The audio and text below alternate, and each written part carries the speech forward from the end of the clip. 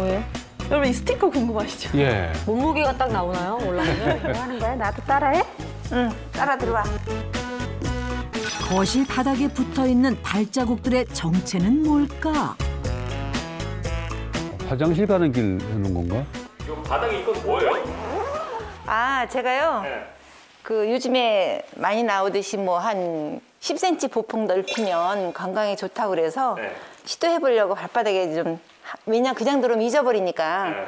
붙여놓고 당분간 연습하려고 붙여놨습니다. 아 그래요? 예. 꼭 유치원 같죠?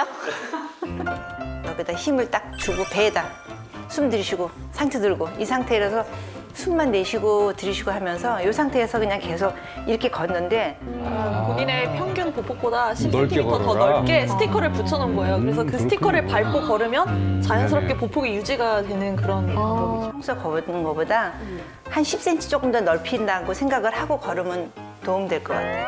자신에게 맞는 보폭 계산법이 따로 있다? 신장 보통 걸음이 1m를 뺀 나머지에다 10cm를 보태서 나온 거리입니다. 평소에는 그냥 이, 이 정도로. 응, 자기야 이리 와봐. 내가 또 하나 하는 게뭐 있어? 스파이더맨들이 보통 벽을 타시는데. 벽을 걸으시는 건 아니고요. 벽을 네. 타야죠. 아니 뭐 벽에도 지금 벽도 걸으세요?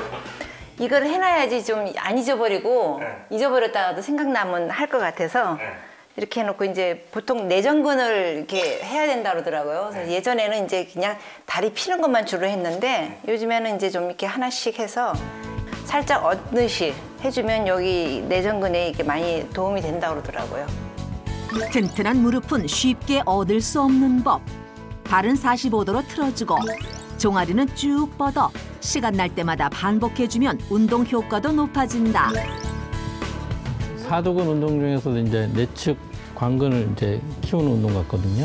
네. 보통은 이제 우리 무릎에서 보면 관절염이 보통 내측 네. 잘 오게 되고 보통 O자로 많이 키신 분이 많지 네. 않습니까? 네. 예. 그래서 이제 내측 관근을 좀 대부분 약해져 있기 때문에 음. 내측 관근을 활성화시키기 위해서 무릎을 바깥쪽으로 틀어서 아. 운동을 하게 되면 좀 더 효과적이라고 할 수 있습니다.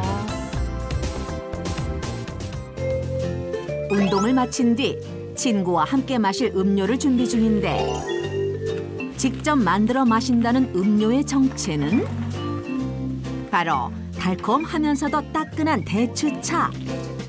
일단 지금은 추운 계절이니까 몸도 따뜻하게 해주고 그다음에 이제 면역력 그런 것도 키워주고 하니까 몸을 따뜻하게 해주잖아요, 대추차가. 그렇죠. 예. 음료 하나 더 건강을 생각하며 마신다는데